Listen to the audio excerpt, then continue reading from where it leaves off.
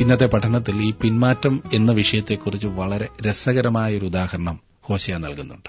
ഹോശയ വളരെ പ്രധാനപ്പെട്ട പല ഉദാഹരണങ്ങൾ തന്റെ പ്രവചനത്തിലൂടെ നമ്മെ പഠിപ്പിക്കുന്നുണ്ട്. നാം ഹോശയായുടെ പ്രവചനം നാലാം അധ്യായത്തിന്റെ ആദ്യത്തെ രണ്ട് വാക്യങ്ങളാണല്ലോ ചിന്തിച്ചു കഴിഞ്ഞത് കഴിഞ്ഞ ക്ലാസ്സിൽ. ഇസ്രായേൽ ജനം പാപം ചെയ്ത് ദൈവത്തിൽ നിന്നും അകന്നുപോകുന്നു ദൈവം അവർക്ക് നൽകിയ നല്ല നല്ല ആലോചനകൾ കൽപ്പനകൾ അവർ ലംഘിക്കുന്നു. അതിന് യാതൊരു വിലയും കൽപ്പിക്കാതെ അവർ മുൻപോട്ട് പോകുകയാണ് അങ്ങനെയിരിക്കുന്ന ജനത്തോട് ദൈവം സംസാരിക്കുന്നതാണ്. തുടർന്ന് നാലാം അധ്യായത്തിലും അഞ്ചാം അധ്യായത്തിലും നാം കാണുന്നത്. നാലാം അധ്യായത്തിന്റെ മൂന്നാം വാക്യത്തിൽ നാം വായിക്കുന്നു അതുകൊണ്ട് ദേശം ദുഃഖിക്കുന്നു. അതിലെ സകല നിവാസികളും വയലിലെ മൃഗങ്ങളും ആകാശത്തിലെ പറവകളും ക്ഷീണിച്ചു പോകുന്നു. സമുദ്രത്തിലെ മത്സ്യങ്ങളും ഇല്ലാതെയാകുന്നു. അതുകൊണ്ട് ദേശം ദുഃഖിക്കുന്നു. ഇന്ന് പരിസ്ഥിതി എന്തുമാത്രം മലിനമായിരിക്കുന്നു. ഭൂമിക്ക് താങ്ങുവാൻ സാധിക്കാത്തതുപോലെ മാലിന്യം. പണ്ടൊക്കെ കാലാവസ്ഥയെക്കുറിച്ചുള്ള അറിയിപ്പേ ഉണ്ടായിരുന്നുള്ളൂ. ഇന്നോ മലിനീകരണത്തിന്റെ തോതും കാണാവുന്നത് അത്രയില്ലേ? നാം ഭൂമി മുഴുവൻ മലിനപ്പെടുത്തി. അതിനാൽ ദേശം ദുഃഖിക്കുന്നു. ഇന്ന് ഇല്ലായ്മയെക്കുറിച്ച് വളരെയേറെ കേൾക്കുന്നു. ദൈവം ഒരു ദേശത്തെ ന്യായം വിധിക്കുമ്പോൾ അവിടുത്തെ നിലം പോലും അതിന്റെ ശിക്ഷ അനുഭവിക്കുന്നു. വയലിലെ മൃഗങ്ങളും ആകാശത്തിലെ പറവകളുമൊക്കെ മനുഷ്യന്റെ പാപത്തിന്റെ ഫലം അനുഭവിക്കേണ്ടി വരുന്നു.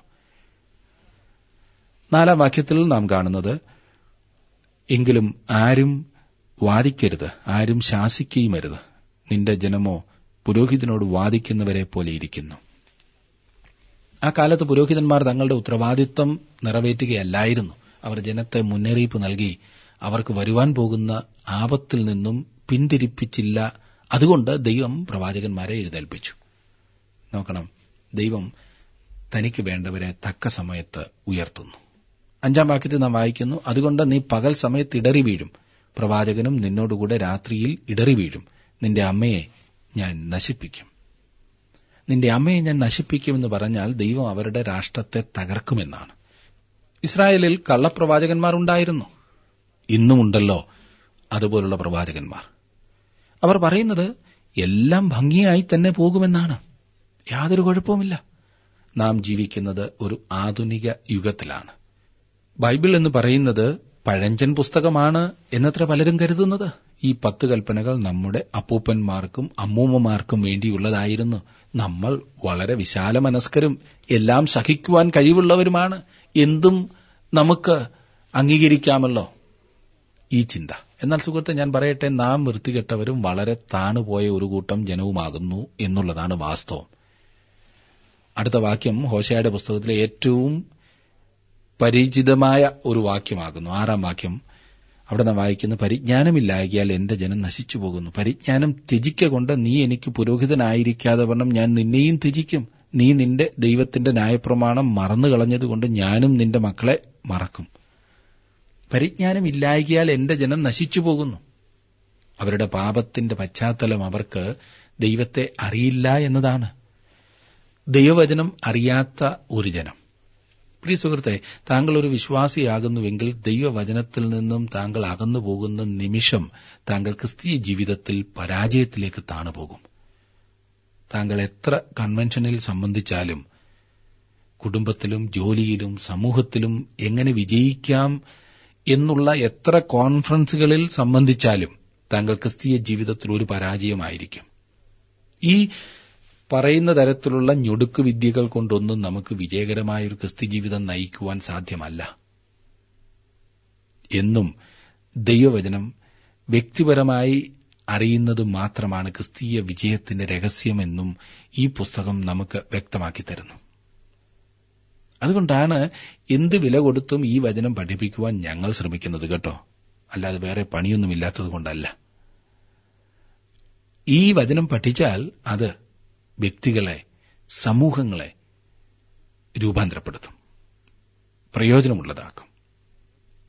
പരിജ്ഞാനമില്ലായിക്കാൽ എന്റെ ജനം നശിച്ചു പോകുന്നു പരിജ്ഞാനം ത്യജിക്കൊണ്ട് നീ എനിക്ക് പുരോഹിതനായിരിക്കാതെ വണ്ണം ഞാൻ നിന്നെയും ത്യജിക്കുമെന്ന് ദൈവം ഇസ്രായേലിനോട് പറയുന്നു. ഇസ്രായേൽ രാഷ്ട്രം മുഴുവൻ തനിക്ക് എന്നത്രേ ദൈവം ആഗ്രഹിച്ചത്.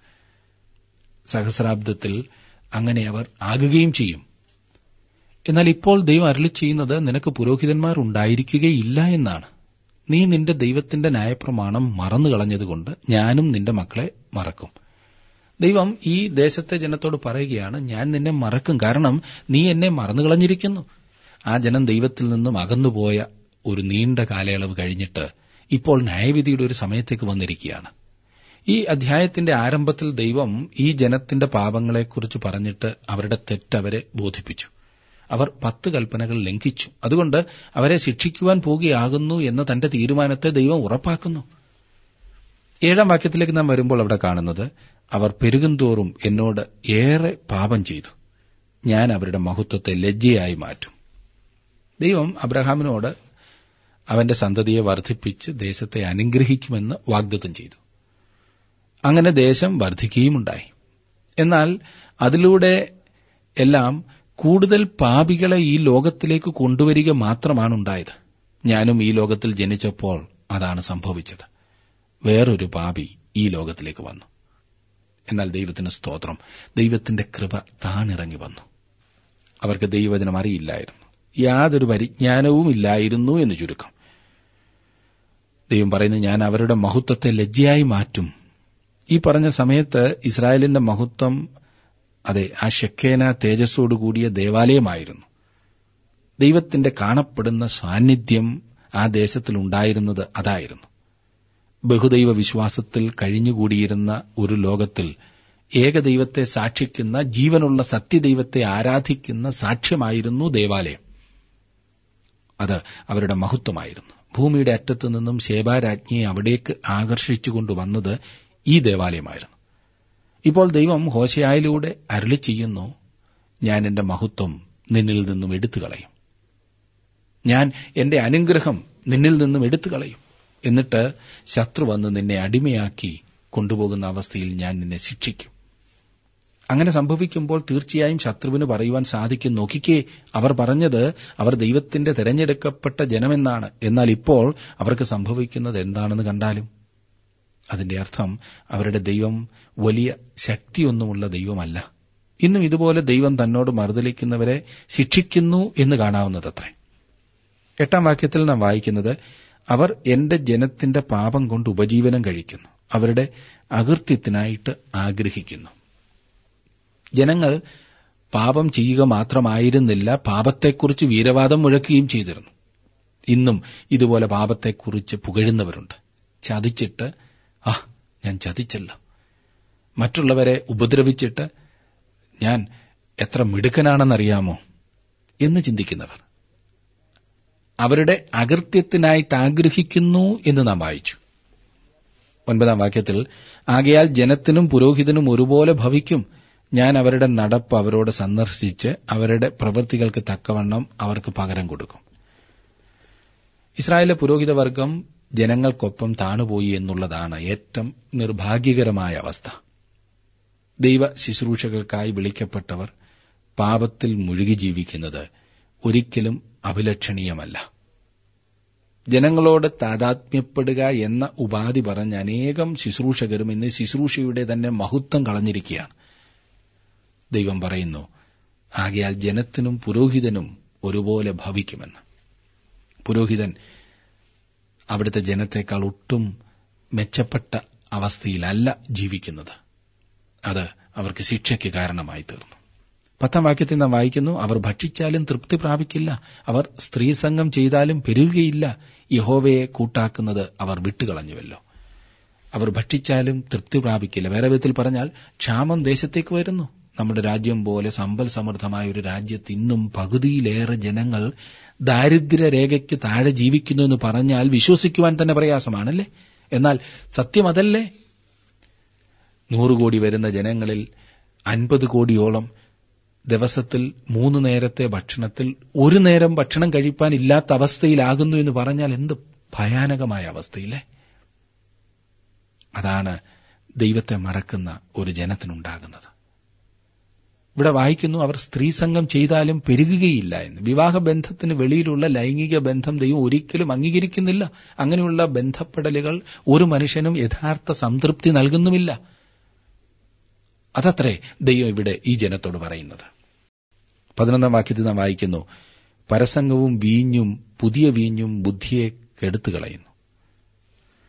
മദ്യവും മദിരാക്ഷിയും അതാണല്ലോ മനുഷ്യന്റെ എന്നത്തെയും പ്രശ്നവും ബലഹീനതയും. മനുഷ്യൻ കള്ളം പറയാനും വക്രത കാണിക്കാനും എല്ലാം ഉള്ള കാരണം അത് തന്നെയല്ലേ? ഇത് ഏതെങ്കിലും പ്രത്യേക പാർട്ടിയുടെയോ സമൂഹത്തിന്റെയോ മാത്രം പ്രശ്നമല്ല എല്ലാവരും ഒരുപോലെ ഇതിനടിമയാകുന്നു. മനുഷ്യനെ നന്നാക്കുവാനുള്ള ശ്രമങ്ങൾ കൂടുതൽ കൂടുതൽ കുഴപ്പങ്ങളിൽ മാത്രം കൊണ്ടെത്തിക്കുകയാണ്. ആധുനികത്വം വഷളത്വം വർദ്ധിപ്പിക്കുക മാത്രമല്ലേ ചെയ്യുന്നത്? ദൈവവചനത്തിൽ നിന്നും അകന്ന് പുതിയ ചില കാര്യങ്ങൾ ചെയ്യുവാൻ ചിന്തിച്ച ഇസ്രായേൽ കൂടുതൽ കുഴപ്പത്തിലാകുകയാണുണ്ടായത്. വടക്കേ രാജ്യത്ത് അവർ പാപത്തിൽ കിടന്നു കുഴഞ്ഞു. യഹോവയായ ദൈവത്തിനു പകരം അവർ രണ്ട് കാളക്കുട്ടികളുടെ രൂപത്തെ പ്രതിഷ്ഠിച്ച് ബാൽ ആരാധന വടക്കേ രാജ്യത്ത് ആരംഭിച്ചു.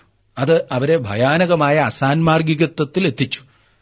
സത്യദൈവത്തിൽ നിന്നും അകലുന്ന മനുഷ്യന് എക്കാലത്തും ഉണ്ടാകുന്ന പ്രശ്നം ഇതത്രേ.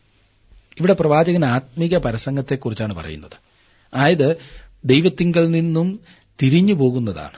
അവർ ജീവനില്ലാത്ത രൂപങ്ങളുടെ അടുത്ത് ആലോചന ചോദിക്കുവാൻ പോയി. ഇന്നും ഇതുതന്നെ നമുക്ക് കാണുവാൻ കഴിയും. ഗുരുക്കന്മാരുടെ പിൻപേ പോകുന്ന മനുഷ്യർ. ഞാൻ പറയാതെ തന്നെ ഇവരുടെയൊക്കെ മഹത്വം നിങ്ങൾക്കറിയാമല്ലോ. മനുഷ്യനെ കബളിപ്പിക്കുക ഇത് ഏറ്റവും എളുപ്പം സാധിക്കുന്ന ഒരു കാര്യമാണിന്ന്. അത് മതത്തിന്റെയും ഭക്തിയുടെയും പേരിൽ മനുഷ്യനെ സമീപിച്ചാൽ മതിയാകും. ഏത് മനുഷ്യനും വീണുപോകും. ഇന്ന് മനുഷ്യൻ എന്തെല്ലാം വിധത്തിലുള്ള കാര്യങ്ങളുടെ പിൻപെയാണ് ദൈവമെന്നും ഭക്തിയെന്നും പറഞ്ഞു ഓടുന്നത്. സാത്താനെ പോലും ആരാധിക്കുന്നു. പണ്ടൊക്കെ പാശ്ചാത്യ രാജ്യങ്ങളിൽ മാത്രമുണ്ടായിരുന്ന ഈ സാത്താന്റെ ആരാധനകൾ ഇന്ന് നമ്മുടെ രാജ്യത്തും വേഗത്തിൽ പടർന്നു പിടിക്കുന്നു. സാത്താന്റെ പള്ളികൾ നമ്മുടെ പല നഗരങ്ങളിലും സ്ഥാനം പിടിച്ചു കഴിഞ്ഞു. എല്ലാ വിധത്തിലുമുള്ള അഭിവൃദ്ധി വാഗ്ദാനം ചെയ്യുന്ന ഈ കൂട്ടരുടെ പിൻപേ പോകാത്തത് ആരാണ്? ഇസ്രായേലിൽ ഈ ജീവനില്ലാത്തതിനെയൊക്കെ ആരാധിച്ചത് ആ ജനത്തെ ഭയങ്കര അസാൻമാർഗികത്വത്തിലേക്ക് ദൈവത്തിന്റെ ന്യായവിധിയിലേക്ക് നയിച്ചു. പതിമൂന്നാം വാക്യത്തിൽ നാം വായിക്കുന്നത് അവർ പർവത ശിഖരങ്ങളിൽ ബലി കഴിക്കുന്നു. കുന്നുകളിൽ അവർ നല്ല തണലുള്ള കരിവേലകത്തിന്റെയും പുന്നയുടെയും ആലിന്റെയും കീഴെ ധൂപം കാട്ടുന്നു. അവിടെ നിങ്ങളുടെ പുത്രിമാർ പരസംഗം ചെയ്യുന്നു. നിങ്ങളുടെ പുത്രഭാര്യമാർ വ്യഭിചരിക്കുന്നു. അവർ അവരുടെ ദൈവങ്ങളെ ഒരു മലയുടെ മുകളിൽ ഒരു കൂട്ടം മരങ്ങളുടെ ഇടയിൽ പ്രതിഷ്ഠിച്ചു. ഇന്നും ഇങ്ങനെ തന്നെയാണല്ലോ. ഇങ്ങനെയുള്ള പ്രതിഷ്ഠകൾ എപ്പോഴും മലമുകളിലും ഏതെങ്കിലും ഒരു കാവിലും ആയിരിക്കുമല്ലോ. മരങ്ങളുടെ ഇടയിൽ. എല്ലാ കാലത്തും എല്ലാ സമൂഹത്തിലും അത് അങ്ങനെ തന്നെയാണ്. അവിടെ നിങ്ങളുടെ പുത്രിമാർ പരസംഗം ചെയ്യുന്നു നിങ്ങളുടെ പുത്രഭാര്യമാർ വ്യഭിചരിക്കുന്നു എന്ന് വായിക്കുന്നു. നാം ഇന്ന് കാണുന്ന ആരാധന കൂടുതലും അത്യാഗ്രഹവും ദ്രവ്യാഗ്രഹവുമാകുന്നുവല്ലോ. ഈ അത്യാഗ്രഹം എത്രയെത്ര കുടുംബങ്ങളെ ലോകത്തിന്റെ പിൻപേ പോകുവാൻ വലിച്ചിഴച്ചിരിക്കുന്നു. എല്ലാ സൗകര്യങ്ങളോടും കൂടിയ നല്ല വീട് നീന്തൽക്കുളമുണ്ട് വലിയ കാർ എസ്റ്റേറ്റ് അങ്ങനെ എന്തെല്ലാം നോക്കിയുള്ള ഓട്ടമാണ് ഇന്ന് മനുഷ്യന്റേത്. തൃപ്തിയില്ലാത്ത ഓട്ടം. അവർ പറയും തങ്ങൾ ഇതെല്ലാം തങ്ങളുടെ മക്കൾക്കു വേണ്ടിയാണ് ചെയ്യുന്നതെന്ന്. എന്നാൽ കുഞ്ഞുങ്ങൾ എത്ര പെട്ടെന്നാണ് വീട് വിട്ടുപോകുന്നത്? അത്യാഗ്രഹത്തോടെ സമ്പാദിക്കുന്നവരുടെ മക്കൾ സാധാരണ അത് അനുഭവിച്ച് കാണാറില്ല. അവർ അതെല്ലാം കളഞ്ഞ് അലഞ്ഞു തിരിയുന്നതാണ് കാണാറുള്ളത്. തങ്ങളുടെ മാതാപിതാക്കൾക്ക് കുഞ്ഞുങ്ങളെ വളർത്തുവാൻ സമയമില്ലായിരുന്നു. അവർ ലോക സൗകര്യങ്ങൾ അനുഭവിച്ച് തൃപ്തി വരാതെ ഓടി നടന്നു. നാം ദൈവത്തെ മറന്നു കളഞ്ഞു. നാം ജീവനുള്ള സത്യദൈവത്തിൽ നിന്നും മാറിപ്പോയിരിക്കുന്നു. നാം അവനെ ഇന്ന് ആരാധിക്കുന്നില്ല. നമ്മെ വിടുവിക്കുവാനും സഹായിക്കുവാനും കഴിവുള്ള രക്ഷകന്റെ അടുത്തേക്ക് നാം തിരിയേണ്ടതുണ്ട് സുഹൃത്തെ. പതിനാലാം വാക്യത്തിൽ നാം കാണുന്നത് നിങ്ങളുടെ പുത്രിമാർ പരസംഗം ചെയ്യുന്നതും നിങ്ങളുടെ പുത്രഭാര്യമാർ വ്യഭിചരിച്ച് നടക്കുന്നതും ഞാൻ സന്ദർശിക്കയില്ല. അവർ തന്നെ വേശ്യാസ്ത്രീകളോട് കൂടെ വേറിട്ടുപോകുകയും ദേവദാസികളുടെ കൂടെ ബലി കഴിക്കുകയും ചെയ്യുന്നു. ഇങ്ങനെ ബുദ്ധിയില്ലാത്ത ഈ ജനം നശിച്ചുപോകും. ദൈവം പറയുന്നത് നിയമത്തെ അറിയാതിരിക്കുന്നത് ഒരിക്കലും ആരെയും രക്ഷിക്കുന്നില്ല. അതൊരു ഉപാധിയല്ല. അവൻ പറയുന്നത് ഈ ജനം പാപത്തിലേക്ക് ഇറങ്ങിപ്പോയി എങ്കിലും ഞാൻ അവരെ അവർ ഇപ്പോൾ ചെയ്യുന്ന പാപത്തെ വിധിക്കുവാനായി പോകുന്നില്ല. ഞാൻ അവരെ ശിക്ഷിക്കുവാൻ പോകുന്നത് അവർ ജീവനുള്ള സത്യദൈവത്തിൽ നിന്നും അവിടുത്തെ വഴികളിൽ നിന്നും അകന്നുപോയതിനാലാണ്. അല്ലാതെ അവർ ഇപ്പോൾ ചെയ്യുന്ന പാപത്തെ നോക്കിയിട്ടല്ല. ജീവനുള്ള ദൈവത്തിൽ നിന്നും അകന്നുപോയി. പതിനഞ്ചാം വാക്യത്തിൽ നാം വായിക്കും നീ പരസംഗം ചെയ്താലും യഹൂദ അപരാധം ചെയ്യാതിരിക്കട്ടെ. നിങ്ങൾ ഗിൽഗാലിലേക്ക് ചെല്ലരുത്. ബേത് അവനിലേക്ക് കയറിപ്പോകരുത്. യഹോവയാണ് എന്ന് സത്യം ചെയ്യുമരുത് ഇസ്രായേൽ ദുശാഠ്യമുള്ള പശുക്കിടാവിനെ പോലെ ദുശാഠ്യം കാണിച്ചാൽ യഹോവ അവരെ ഒരു വിശാല സ്ഥലത്ത് കുഞ്ഞാടിനെ പോലെ മേയിക്കുമോ? വളരെ ചിന്തിപ്പിക്കുന്ന ഒരു ഉദാഹരണം ദുശാഠ്യമുള്ള പശുക്കിടാവ്. ദുശാഠ്യമുള്ള പശുക്കിടാവിനെ ഇവിടെ പിന്മാറ്റത്തോടാണ് ഉപമിച്ചിരിക്കുന്നത്. പിന്മാറ്റം ദുശാഠ്യമുള്ള പശുക്കിടാവിനെ പോലെയാണ്. ഇന്ന് വീടുകളിലൊക്കെ പശുവിനെയും അതുപോലെയുള്ള എന്തെങ്കിലും മൃഗങ്ങളെയൊക്കെ വളർത്തുന്നത് വളരെ വളരെ കുറഞ്ഞു വരികയാണ്. എന്നിരുന്നാലും പശുക്കിടാവിനെ കാണാത്തവർ ചുരുങ്ങും. നമ്മുടെ നാട്ടിൻ പുറത്തൊക്കെ മിക്കവാറും വീടുകളിലുണ്ടല്ലോ. ഇതിനെ കയറിട്ടിട്ട് നാം മുൻപോട്ട് പിടിച്ചാൽ അവൻ ആ മുൻപുലത്തെ കാൽ അങ്ങോട്ട് നേരെ വെച്ച് എത്ര പിടിച്ചാലും നമുക്ക് മുൻപോട്ട് കൊണ്ടുപോകുവാൻ സാധിക്കാത്ത വിധം പുറകോട്ട് പിടിച്ചങ്ങനെ നിൽക്കും. കണ്ടിട്ടില്ലേ? എത്ര പിടിച്ചാലും ഇതാണ് ദുശാഠ്യം. ഇതാണ് പിന്മാറ്റം. ദൈവം പറഞ്ഞിരിക്കുന്ന കാര്യങ്ങൾ ഞാൻ ചെയ്യില്ല എന്ന് ഹൃദയത്തിൽ തീരുമാനിച്ചുള്ള ഒരു നിൽപ്പ്. ഞാൻ അനുസരിക്കില്ല. പുറമേ ഭക്തി കാണിക്കും. എന്നാൽ എനിക്ക് സത്യമെന്ന് അറിയാവുന്ന കാര്യങ്ങൾ എത്ര ശക്തമായി ആര് പിടിച്ചാലും ചെയ്യില്ല എന്നുള്ള മനോഭാവം. എന്നെ ശ്രദ്ധിക്കുന്ന പ്രിയ സുഹൃത്തെ ദൈവം താങ്കൾക്ക് കാണിച്ചു തന്നിട്ടുള്ള ഏതെങ്കിലും സത്യത്തിന് നേരെ താങ്കൾ അങ്ങനെ നിൽക്കുന്നുവെങ്കിൽ ഞാൻ പറയട്ടെ താങ്കൾ പിന്മാറിയ അവസ്ഥയിലാണ്. അതിന് ഒരു ന്യായീകരണവും ആവശ്യമില്ല. പതിനേഴാം വാക്യത്തിൽ നാം വായിക്കുന്നു എഫ്രീം വിഗ്രഹങ്ങളുടെ കൂട്ടാളിയാകുന്നു അവനെ വിട്ടുകളക. മദ്യപാനം കഴിയുമ്പോൾ അവർ പരസംഗം ചെയ്യും. അവരുടെ പ്രഭുക്കന്മാർ ലജ്ജയിൽ അത്യന്തം ഇഷ്ടപ്പെടുന്നു. കാറ്റ് അവളെ ചിറകുകൊണ്ട് ചുറ്റിപ്പിടിക്കുന്നു. അവർ തങ്ങളുടെ ബലികൾ ഹേതുവായി ലജ്ജിച്ചു പോകും. ഇനിയും അഞ്ചാം അധ്യായത്തിലേക്ക് വരുമ്പോൾ ഇവിടെ പുരോഹിതന്മാരോട് പറയുന്ന ചില കാര്യങ്ങൾക്ക് കാണുവാൻ സാധിക്കും. ഒന്നാം വാക്യത്തിൽ പുരോഹിതന്മാരെ കേൾപ്പീൻ ഇസ്രായേൽ ഗ്രഹമേ ചെവിക്കൊള്ളുവിൻ. രാജഗ്രഹമേ ചെവി തരുവിൻ. നിങ്ങൾ മിസ്പയ്ക്കൊരു കണിയും താബോരിന്മേൽ വിരിച്ച വലയും ആയിത്തീർന്നിരിക്കൊണ്ട് ന്യായവിധി നിങ്ങൾക്ക് വരുന്നു. പുരോഹിതന്മാരോട് പറയുകയാണ് നിങ്ങൾ വഴിതെറ്റിപ്പോയിരിക്കുന്നു. നിങ്ങളുടെ ശ്രദ്ധ ഇന്ന് വേറെ എന്തിലൊക്കെയോ ആണ്. ദൈവത്തിന് കൂടുതൽ മഹത്വം കൊടുക്കേണ്ട സ്ഥാനത്ത് നിങ്ങൾ ഇന്ന് നിങ്ങളുടേതായ വഴികളിലാണ് നിൽക്കുന്നത്. രണ്ടാം വാക്യത്തിൽ വായിക്കുന്നു മത്സരികൾ വഷളത്വത്തിൽ ആണ്ടുപോയിരിക്കുന്നു. ഞാനോ അവർക്ക് ഏവർക്കും ഒരു ശാസകനാകുന്നു. ഞാൻ എഫ്രീമിനെ അറിയുന്നു. ഇസ്രായേൽ എനിക്ക് മറഞ്ഞിരിക്കുന്നതുമില്ല. എഫ്രീമെ നീ ഇപ്പോൾ പരസംഗം ചെയ്തിരിക്കുന്നു. ഇസ്രായേൽ മലിനമായിരിക്കുന്നു. അവർ തങ്ങളുടെ ദൈവത്തിന്റെ അടുക്കലേക്ക് മടങ്ങി വരേണ്ടതിന് അവരുടെ പ്രവൃത്തികൾ സമ്മതിക്കുന്നില്ല. പരസംഗമോഹം അവരുടെ ഉള്ളിലുണ്ട്. അവർ യഹോവയെ അറിയുന്നതുമില്ല. അവർ ദൈവത്തിങ്കിലേക്ക് വരുന്നു എന്ന് പറഞ്ഞാൽ നടക്കുന്ന കാര്യമല്ല. കാരണം അവരുടെ ഉള്ളിൽ ഇന്നും പരസംഗമോഹമുണ്ട്. അവരുടെ പ്രവൃത്തികൾ ദൈവത്തിങ്കിലേക്ക് വരുവാൻ സമ്മതിക്കുന്നില്ല. എത്ര ശ്രമിച്ചാലും സ്വന്തം പരിശ്രമം കൊണ്ട് അത് സാധിക്കില്ല എന്നതാണ് വാസ്തവം. അഞ്ചാം വാക്യത്തിൽ ഇസ്രായേലിന്റെ അഹംഭാവം അവന്റെ മുഖത്ത് സാക്ഷീകരിക്കുന്നു. അതുകൊണ്ട് ഇസ്രായേലും എഫ്രീമും തങ്ങളുടെ അകൃത്യത്താൽ ഇടറി വീഴും യഹൂദയും അവരോടുകൂടെ ഇടറി വീഴും. ആറാം വാക്യം യഹോവയെ അന്വേഷിക്കേണ്ടതിന് അവർ ആടുകളുടെയും കന്നുകാലികളെയും കൊണ്ടുചെല്ലും. എങ്കിലും അവർ അവനെ കണ്ടെത്തുകയില്ല. അവൻ അവരെ വിട്ടുമാറിയിരിക്കുന്നു. നോക്കണേ വീണ്ടും വീണ്ടും മറുതലിക്കുന്ന ഒരു വ്യക്തിയോട് ദൈവം ഇടപെടുന്ന വിധം. ഒരു സമയത്ത് അവർ എത്ര പരിശ്രമിച്ചാലും സാധിക്കാത്തതുപോലെ ദൈവം അവരെ വിട്ടുമാറുന്ന അവസ്ഥ. ഇവിടെ നാം വായിച്ചത് അവൻ അവരെ വിട്ടുമാറിയിരിക്കുന്നു. അവർ അന്യപുത്രന്മാരെ ജനിപ്പിച്ചിരിക്കൊണ്ട് അവർ യഹോവയോട് വിശ്വാസപാതകം ചെയ്തിരിക്കുന്നു. ഇപ്പോൾ ഒരു അമാവാസി അവരെ അവരുടെ ഓഹരികളോടുകൂടെ തിന്നുകളയും. ബാക്കിയുള്ള വാക്യങ്ങൾ കൂടി ഞാൻ വായിക്കട്ടെ. അഞ്ചാം അധ്യായത്തിന്റെ ഗിബയിൽ കാഹളവും രാമയിൽ തൂരിയവും ഉതുവിൻ ബേത് ആവനിൽ പോർവിളി കൂട്ടുവിൻ. ബെന്യാമീനെ നിന്റെ പിറകെ വരുന്നു. ശിക്ഷാ ദിവസത്തിൽ എഫ്രിയും ശൂന്യമാകും. നിശ്ചയമുള്ളത് ഞാൻ ഇസ്രായേൽ ഗോത്രങ്ങളുടെ ഇടയിൽ അറിയിച്ചിരിക്കുന്നു. യഹൂദ പ്രഭുക്കന്മാർ അതിർ മാറ്റുന്നവരെ പോലെ ആയിത്തീർന്നു. അതുകൊണ്ട് ഞാൻ എന്റെ ക്രോധം വെള്ളം പോലെ അവരുടെ മേൽ പകരും. എഫ്രീമിന് മാനുഷ്യകൽപ്പന അനുസരിച്ച് നടപ്പാൻ ഇഷ്ടം തോന്നിയതുകൊണ്ട് അവൻ പീഡിതനും വ്യവഹാരത്തിൽ തോറ്റവനുമായിരിക്കുന്നു. അതുകൊണ്ട് ഞാൻ എഫ്രീമിന് പുഴുവും യഹൂദഗ്രഹത്തിന് ദ്രവത്വവുമായിരിക്കും. ദൈവം പറയുകയാണ് ഞാൻ പാപം ചെയ്യുന്ന ഈ ജനത്തെ ശിക്ഷിക്കുവാൻ പോകുന്നു.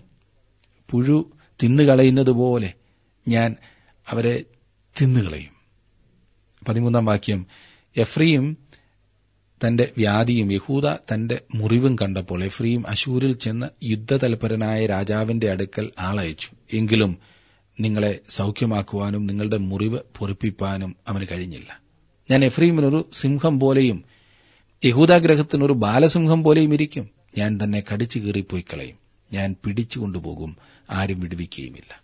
അവർ കുറ്റം ഏറ്റുപറഞ്ഞ് എന്റെ മുഖം അന്വേഷിക്കുവോളം ഞാൻ മടങ്ങിപ്പോയി എന്റെ സ്ഥലത്ത് ഇരിക്കും. കഷ്ടതയിൽ അവർ എന്നെ ജാഗ്രതയോടെ അന്വേഷിക്കും. അനേകരും ദൈവത്തെ അന്വേഷിക്കുന്നത് തങ്ങളുടെ കഷ്ടതയിലാണ്. ഞാൻ പറയട്ടെ അതുവരെ കാത്തിരിക്കണമോ? നാം ആയിരിക്കുന്ന അവസ്ഥയിൽ ദൈവവചനത്തിനനുസരിച്ച് നാം ജീവിക്കുവാനായി നമ്മെ സമർപ്പിക്കുമ്പോൾ ദൈവം അത് വലിയ അനുഗ്രഹമാക്കി നമ്മുടെ ജീവിതത്തിൽ തരും. എന്നെ ശ്രദ്ധിക്കുന്ന പ്രിയ സഹോദര പ്രിയ സഹോദരി താങ്കളുടെ ജീവിതത്തിൽ ദൈവഹിതം മനസ്സിലാക്കി ദൈവഹിതപ്രകാരം ജീവിക്കുവാൻ സാധിക്കുന്നുണ്ടോ?